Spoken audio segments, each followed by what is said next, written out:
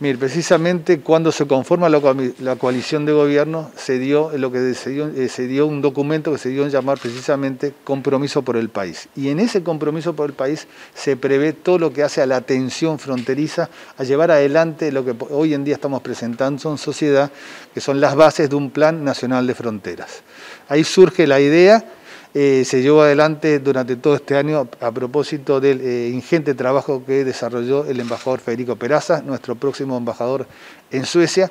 pero además con una particularidad. Este no es un trabajo de la Cancillería, sino que es un trabajo que nos comprometió y que además es algo que es justo destacar y agradecer a todas las fuerzas vivas, llámese las intendencias, llámese los representantes nacionales, se conformaron en el Parlamento dos comisiones de fronteras que atienden los asuntos tanto con Argentina como con Brasil, así que vaya si habrá trabajo colaborativo de parte de todos. Y bueno, hoy presentamos en sociedad ese precisamente trabajo que hace a las bases de una política nacional de fronteras.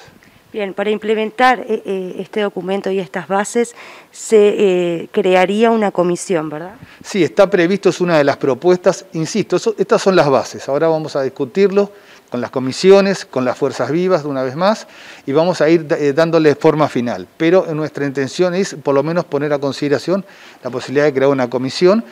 También contamos con el apoyo que es justo destacar de Naciones Unidas, que a través del trabajo del señor Filgueira y, este, el señor Higuera realmente han colaborado muchísimo con el plan, así que definitivamente tenemos las mejores expectativas en lo que va a ser un, hito en, lo nacional, que es terminar de conformar un plan nacional de frontera. Y sobre los objetivos eh, fundamentales de, este documento, eh, ¿qué se podría destacar? Miren, nosotros hablamos recién precisamente que en materia de inserción internacional hemos hablado que la venimos desarrollando en tres grandes planos, el plano bilateral, el plano regional y el plano multilateral. Y precisamente cuando hablamos de plano bilateral,